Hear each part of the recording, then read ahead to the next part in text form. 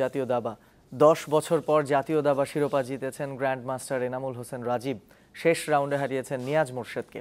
এদিন রেজাউল হকের সঙ্গে ড্র করে শিরোপা সম্ভাবনা হাতছাড়া করেন আরেক গ্র্যান্ড মাস্টার আবদুল্লাহ আল রাকিব। সমানে সমান অবস্থায় থেকে শেষ রাউন্ড শুরু করেছিলেন দুই গ্র্যান্ড মাস্টার এনামুল হোসেন রাজীব ও আবদুল্লাহ আল রাকিব। কিন্তু দুইবারে জাতীয় চ্যাম্পিয়ন রাকিব ড্র করে বসেন পয়েন্ট টেবিলের নিচে থাকা ফিদে মাস্টার রেজাউল হকের সাথে। তাতে তাতেই কার্যত শেষ হয়ে যায় শিরোপা সম্ভাবনা।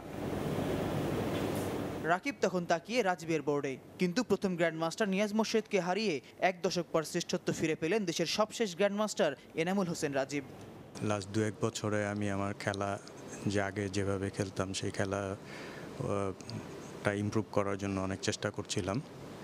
তো সেই হিসাবে এরকম একটি ফলাফল যে জাতীয় দাবা চ্যাম্পিয়ন হয়েছে এটা অবশ্যই অনেক ইন্সপায়ারিং শিরোপার এত কাছে এসেও তা ছুতে না পারার আক্ষেপ পোড়াচ্ছে রাকিবকে।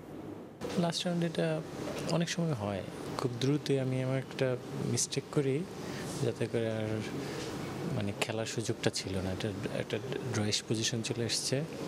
রাকিবের মতো পারেননি বাকি দুই গ্র্যান্ডমাস্টার নিয়াজ জিয়াও। টুর্নামেন্টের মাঝপথে নিজেদের পারফরমেন্সের অবনতিকেই দুষছেন সাফল্য না পাওয়ার কারণ হিসেবে। আমি নিজে খুব অবাক হয়েছি ভালো ভালো খেলে খেলে তারপরে জিততে পারতেছি না ব্লান্ডার করতেছি। আজকেও ভুল পিস একটা টাচ করলাম পজিশন ভালো ছিল। বেশ কিছু গেম ড্র করেছি। ওগুলো হয়তো ড্র না করলে হয়তো চ্যাম্পিয়নের সম্ভাবনা থাকতো। কিন্তু এখন মানে একটা গেম পিছিয়ে গেলে মুশকিল।